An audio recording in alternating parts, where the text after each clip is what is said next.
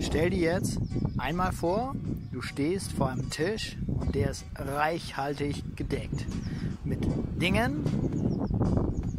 All das ist da drauf zu finden, was du dir vorstellen kannst.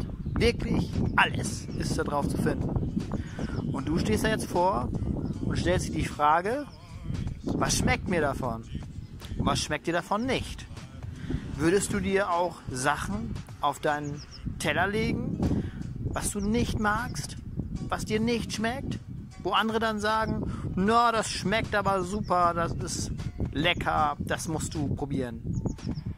Okay, sagst du dir vielleicht, eventuell oder was auch immer, aber es geht darum, herauszufinden, was dir schmeckt und was dir nicht schmeckt. Und genauso musst du dann das Leben, in das Leben, was du lebst, implizieren. Musst dir immer wieder die Frage stellen, was schmeckt dir davon? Und wenn du das nicht machst, wenn du dir einfach nur sagst, ist doch egal, was mir davon schmeckt und was mir davon nicht schmeckt. Und du gehst mit deiner Zeit genauso um wie mit diesem Beispiel.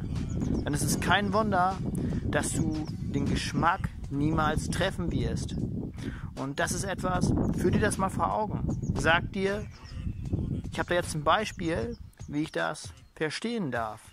Und genau darauf kommt es an, dass du dir auch sagst, ich muss da was dran ändern. Weil wenn du immer das in dich hineinfrisst, was dir nicht schmeckt, gehst du darin nicht auf. Und genau das ist das, wo es wirklich drauf ankommt. In diesem Sinne, bis dann.